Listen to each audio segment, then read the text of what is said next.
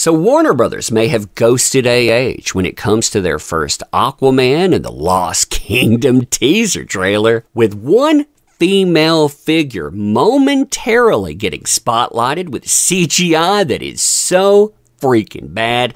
You can't tell who that is. I mean, look at that face right there. And really, because of AH and all of the delays for this movie because of her, this thing, it is flopping and it is flopping hard with the numbers coming in, getting about one thirtieth of the attention that a Blue Beetle got. I mean, that, that is bad. Really, really bad. Not only that, but Aquaman 2's trailer, oh, it has set one of the worst DCEU records on the book, telling you that Warner, they expect this thing to flop and when you check out the trending on this, oh, you can tell why they've been avoiding this. And so far, this has been an absolute nightmare for Warner Brothers. You and I, we're going to talk about this and so much more today, too.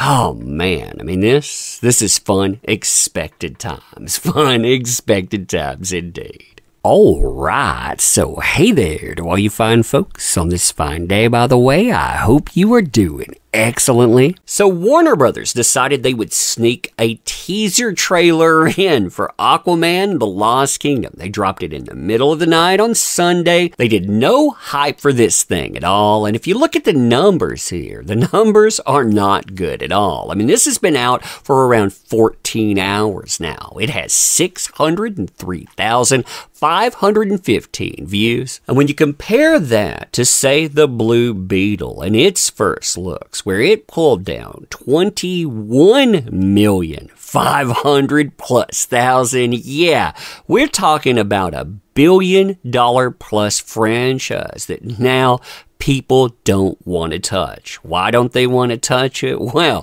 one of the major problems there is AH. And we check out this teaser trailer here. Yeah, it looks like Warner Brothers knows what the problem with this movie is going to be.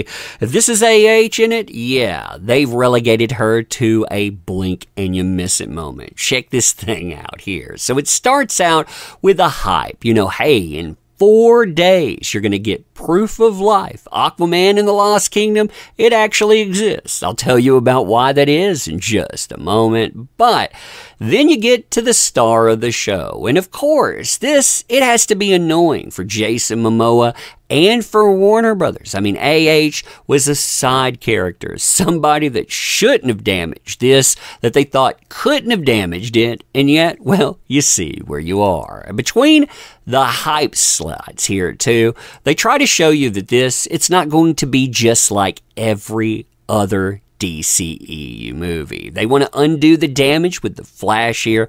They want to show you, yeah, we have good CGI. By the way, hey, check out Aquaman. And this this doesn't look that bad at all. Then, you know, you have, of course, villainy that has to come in. This, it follows the whole standard set that you expect. You see the machine rise, gotta take out Aquaman too. Oop, villain intro. Then you get some blink and you miss it moments. Check this out here. You'll notice along the dock, right in the background, female figure running in. Is that AH? Can't really tell. I mean, look at how fast this goes by. Again, if you were to blink with that, you'd actually miss it. You have a fire at a home. Oh no, they burned the residence up. Oh, let's let's ride on a seahorse. Then you get to this part right here. Again, I'm going to let it play first and then I'll go back and show you how bad it looks. But look how fast that goes by. I mean, that that doesn't look good either. If that's AH, and it's very hard to tell in that, yeah, you can tell that that's not cleaned up. This was not part of the reshoots, which they made available to the public. They said, yeah, she wasn't part of that at all.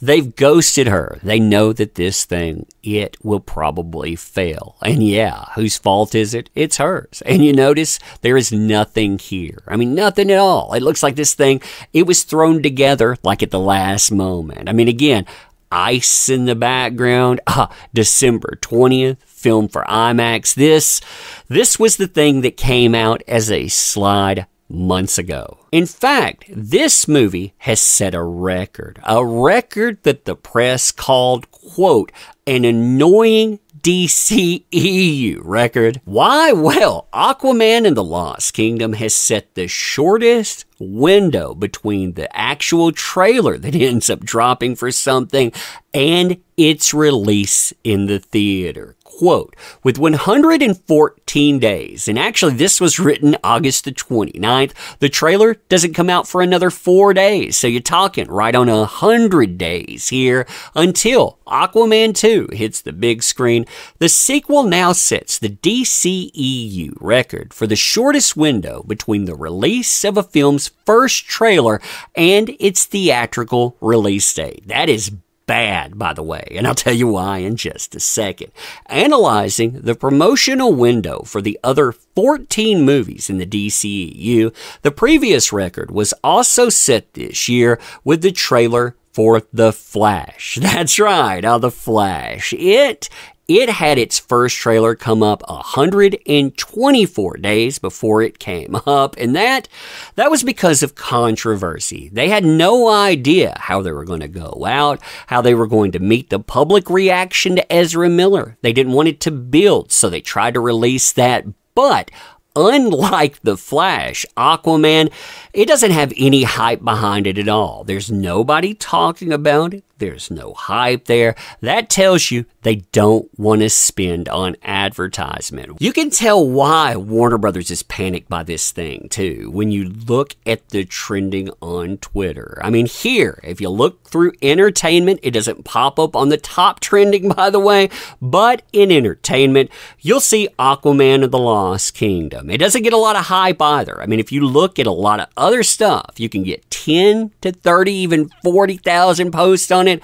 This thing, it's only gotten 2,359 posts as of 14 hours being out. Now compare that with all the people that are bringing up the reason they're not going to go see that movie. Why? Well, a certain actress with the first name Amber. I mean, look at all the posts about that person. Entertainment, trending in celebrities, 37,000 400 posts. So you've got less than one tenth of those people actually bringing up the movie, tagging it in and all. And again, the price tag on this movie, yeah, you're going to lose lots lots of it. They know it. They put it off until the last minute. They set a record on that and they tried to ghost AH, and it is still flopping in numbers. But anyway, let me know what you think about this. And as always, appreciate the heck out of you. You make this stuff work. Thank you. Can't say that enough. Want to help out the channel, by the way? Links are in the description. And again, thank you, and we'll see you soon.